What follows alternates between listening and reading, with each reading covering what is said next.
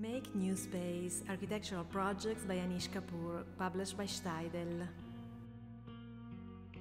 This publication brings together for the first time Anish Kapoor's architectural projects and ideas that span the last 40 years. These are concepts that continue to inform all areas of Kapoor's artistic output, many of which have been realized in works that confound the distinction between art and architecture, pushing architecture into radical new territory.